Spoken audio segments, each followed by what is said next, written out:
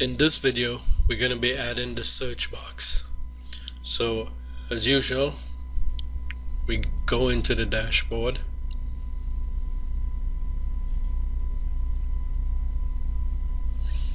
Then we go back down to appearance.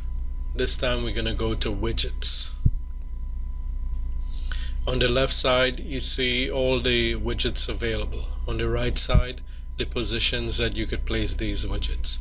In this case, we're going to take the search widget, add it to the header sidebar by just dragging it across. Like that. You can give it a title. Here we'll call it search and then save.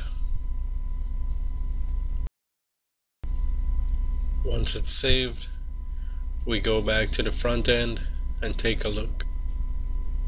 Then there we see the search box.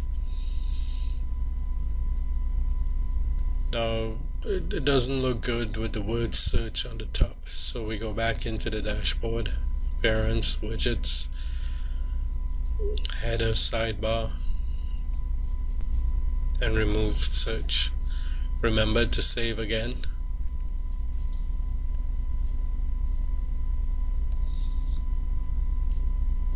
And there it is.